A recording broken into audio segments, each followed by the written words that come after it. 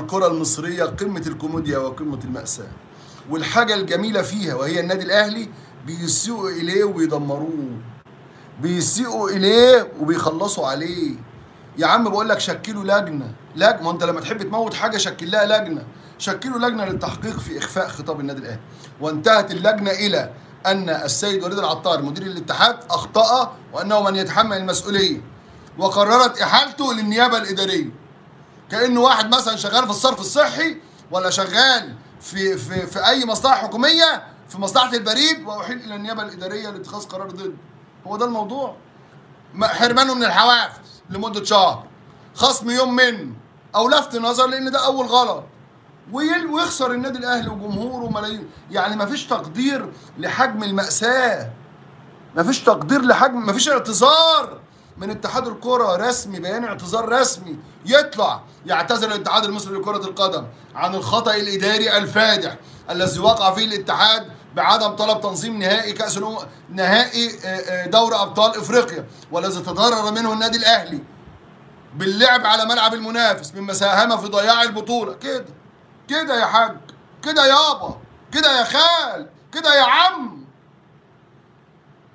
والله الناس دي هتخلص عليا. والله الناس دي هتخلص عليا. استفدت إيه على راي مرتضى؟ استفدت أنا مع مع يعقوب السعد استفدت إيه؟ استفدت إيه من تصريحه إن إحنا ادينا مباراة سيئة؟ الكابتن ايهاب يعني أنا استفدت إيه؟ يعني أنا استفدت إيه؟ استفدت إيه إنك أنت بتجيب الحجة مسح السبور؟ قال لك أرضية الملعب سيئة. ماشي؟ قال لك ادينا مباراة سيئة. قال لك فوجئت بأداء اللاعبين السيء. سيء إيه يا عم؟ ده كله سيء في سيء.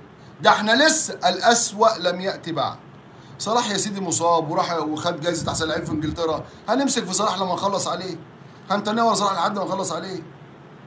بصراحة اتحاد كرة ضعيف وامكانياته وقدراته ضعيفة للغاية للغاية للغاية. فضحونا. ومن اثيوب وقدام أثيوبيا كسفونا وعرونا. وربنا يستر.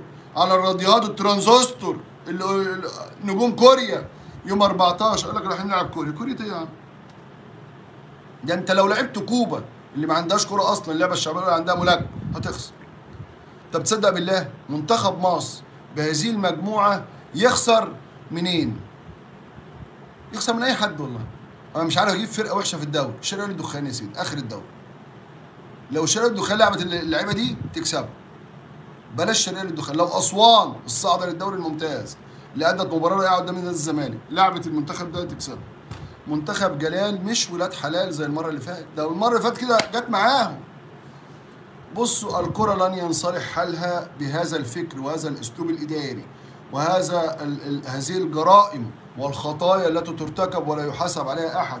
هذه الفوضى آه، أسلوب الكلب مكيالين الصوت العالي اجامله وادلعه وهشتكه. واحميه لما يبقى فاسد والمؤدب والمحترم أجي عليه وأظلمه.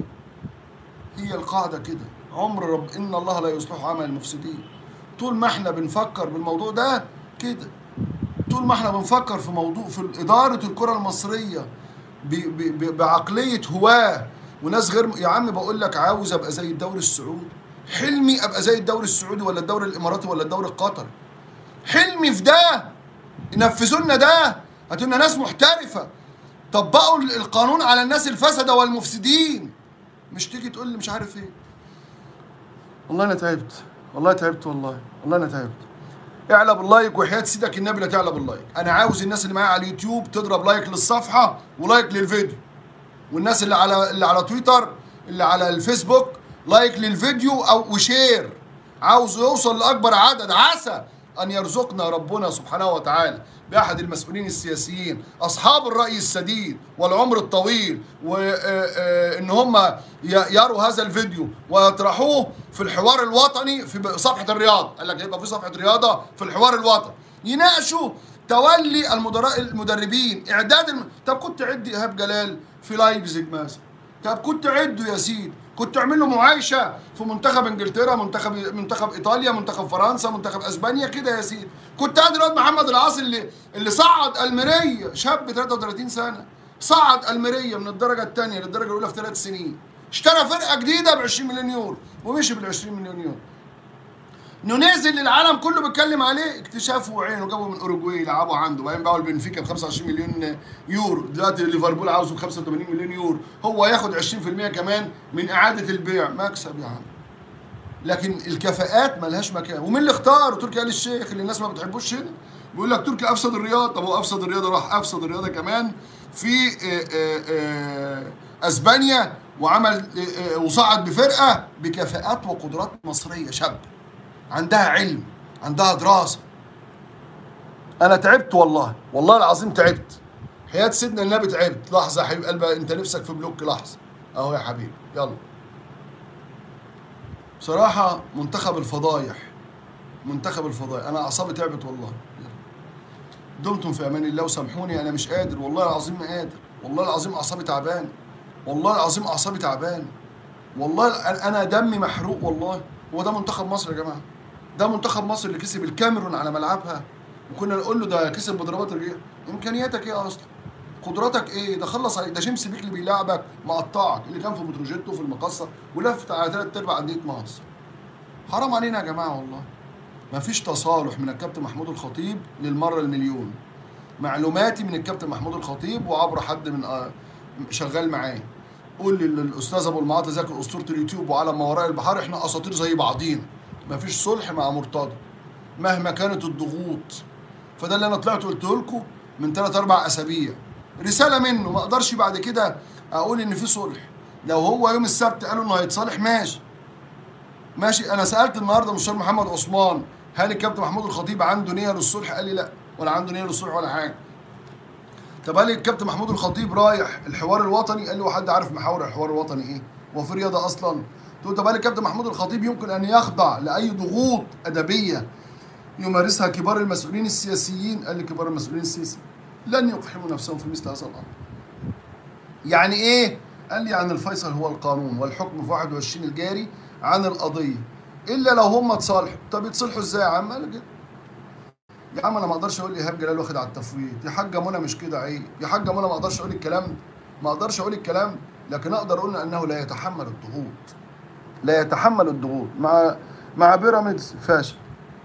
مع الزمالك فاشل. أقوم مكافئ وأديله المنتخب. والنبي يا جماعة حد يقول لحد. يعني حد يقول لأي حد مهم في البلد إن دي طريقة اختيار المدير الفني. لما تفشل تترقى. لما تفشل تمسك منصب أعلى.